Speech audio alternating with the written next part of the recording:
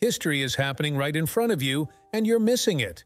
Here on Black Hollywood Icons, I like to shine a special little light on people in Hollywood making black history happen before our eyes, baby.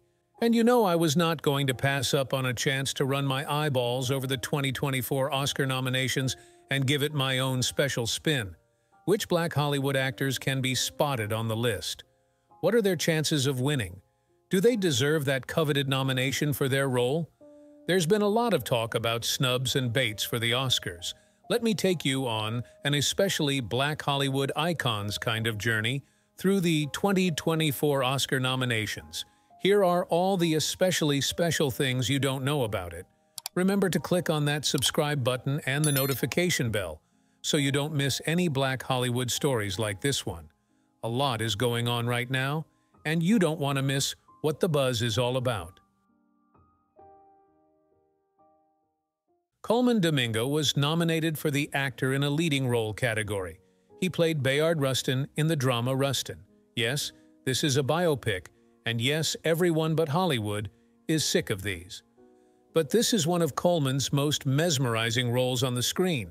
But let's be honest, the reception for the film was pretty lukewarm. It seems this always happens with anything that can be remotely described as melodrama. The audience has a slight dislike towards the work and critics think it's just good. That's not a great sign. But remember that when critics get on their keyboard, they judge the film along with cinematography, makeup, acting, and writing, all of which Colman has nothing to do with. Is it possible for his acting to stand out in this film and be appreciated for his effort and talent despite the reception? Playing someone who existed is a very difficult thing to do convincingly. At any point in time, audiences will find a reason why the character portrayed was not convincingly played. A lot of critics made the observation that Colman was probably the only reason the film was tolerable through its entire runtime. Let's hope that his efforts to save the film pay off with a sweet Oscar. But even if he doesn't get it, he already got a ton of awards from other places. He won't miss it that badly. I think the chances that he will win are relatively low considering what he's up against. The other actors were served much better material to flex their acting talents than he was, but you never know, the Academy may shock us all. Jeffrey plays Monk in American Fiction. Here's a film that stands a pretty good chance. Incredible critical and audience reception. American Fiction is a comedic drama in which Jeffrey plays the main character of a frustrated novelist who is fed up with the establishment that profits off of black entertainment that relies on tired and offensive tropes. It hits all the notes a modern comedy should and makes the audience comfortable to laugh at the ideas it plays with. Jeffrey plays this character subtly and believably. You just want to like him, and he adds a layer of depth to the dark comedy that wouldn't exist without him. The best Academy bait is a sad black and white film, but maybe this year they'll give a color film filled with joy a chance to shine as it really should. American Fiction was one of those all-black main cast films that fell under the radar of many critics in 2023. The beautiful cinematography, acting, and writing give this film the legs it needs to highlight the talent of its actors. Jeffrey stands a good chance, yes, even against Bradley Cooper, in the Worm on a String film that is Maestro. The character played by Jeffrey is more personable, and the cinematography lends to us developing a relationship with the character. We reflect his own frustrations with black existence and participation in the entertainment industry onto ourselves and leave influenced by the film. He deserves a win. Another nomination for American Fiction. This film does not let up with the nominations. Sterling plays Clifford Ellison in the film, and is one of the narrative anchors of the dramatic aspects of the film. He has one of the most enjoyable performances on screen throughout the film, and his acting has incredible comedic timing and believability. However, Sterling himself has reported to Variety that he believes that he will not be winning the Oscar as he is up against Robert Downey Jr. He acknowledges that the nomination is an honor but does not honestly believe that he will win. I think he stands an incredible chance.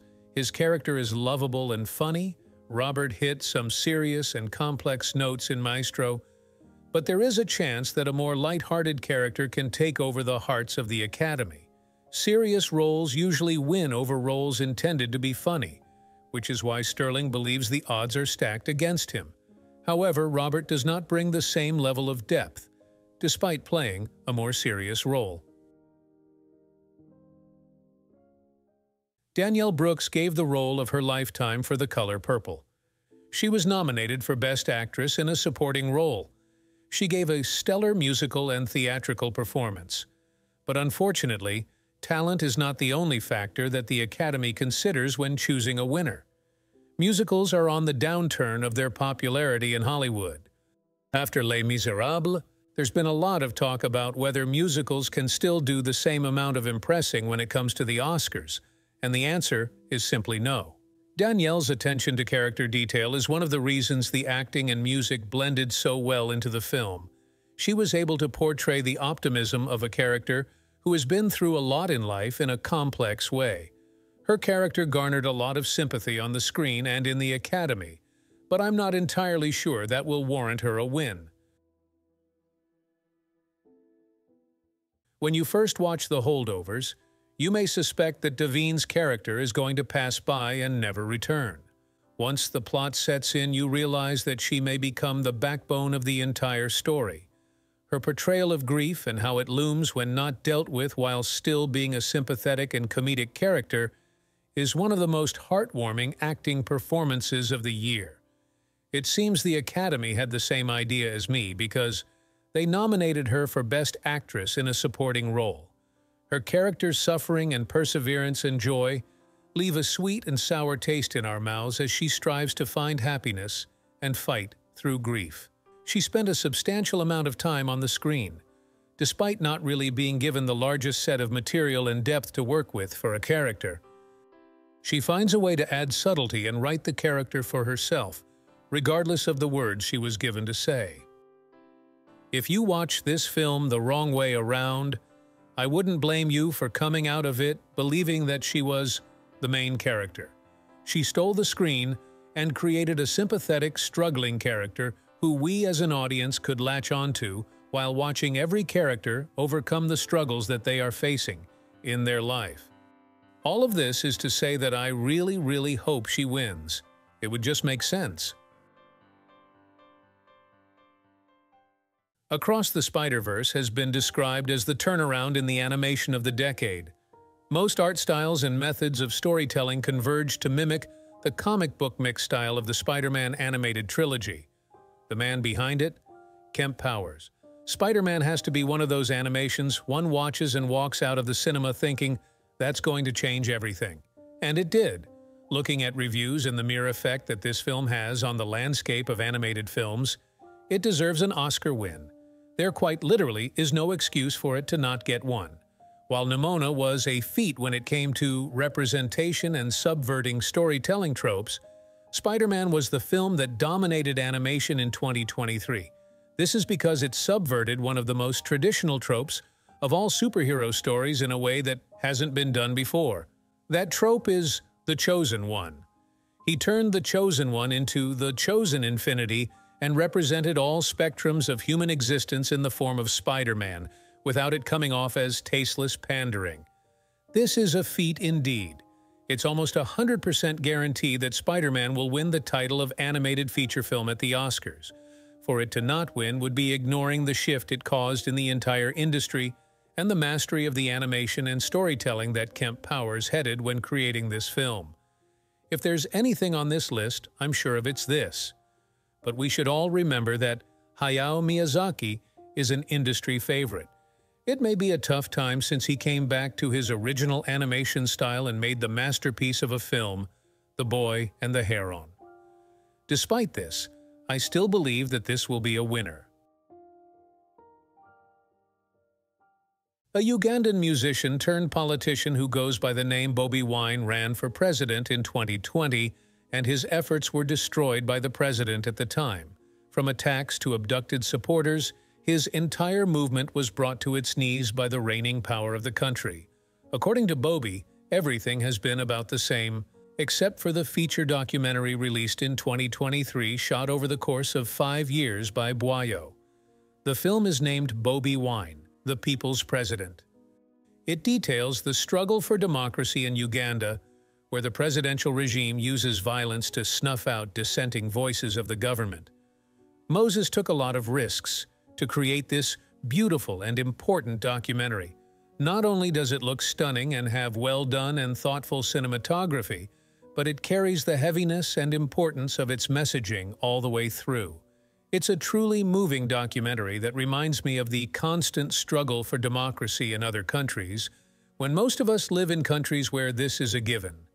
Moses is being honored for this talented and historical work with an Oscar nomination for the Best Documentary Feature. Moses calls the making of this film a labor of love, and an article by The Guardian describes it as a new hope for toppling the Ugandan regime. The hope is that winning an Oscar can give the story even more publicity than it already has and encourage more people to participate in any way they can to bring democracy to the Ugandan regime.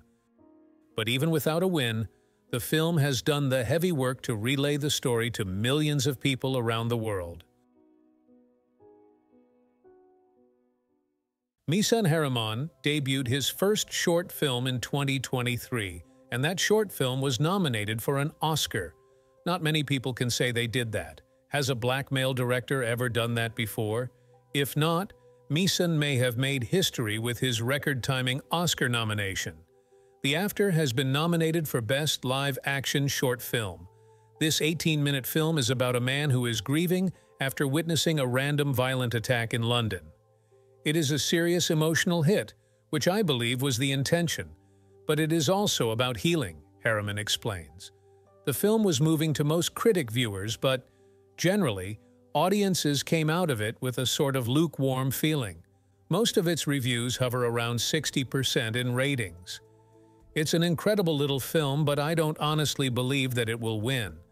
The competitors, like the Wes Anderson short films, are just way too strong and beloved by all audiences, not just critics. Even though the film has depth, the stylistic and storytelling measures that Wes went through to make his short films far outweigh the heavy subject matter of this film and its importance. This time, it looks like Wes is going home with another one, doesn't he ever get sick of being that good? Click on this next video to catch up on more of the latest in Black Hollywood. Do you think my predictions are correct?